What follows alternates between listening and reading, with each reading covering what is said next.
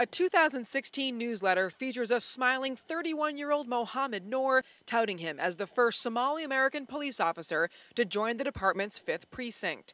Tonight, he's under investigation for shooting and killing an Australian woman set to be married next month.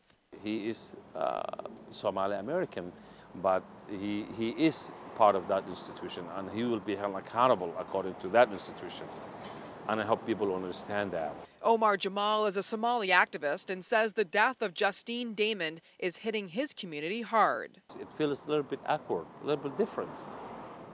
But yet, still, he remains to be a member of the police force in Minneapolis.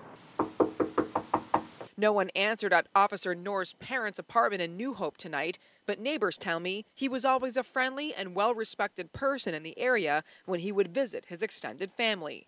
13 year old Terry Greer is best friends with Noor's younger brother. Since he became a police officer, I haven't seen them really often. But every time I see him, I'm like, hey, Batman. He say, hey, Robin, because it's like I'm a sidekick type of thing. Noor graduated from Augsburg College with a business degree. He first got into real estate before becoming a cop in 2015. His attorney released this statement to Fox 9 tonight saying in part, quote, Officer Mohamed Noor extends his condolences to the family and anyone else who has been touched by this event. He takes their loss seriously and keeps them in his daily thoughts and prayers.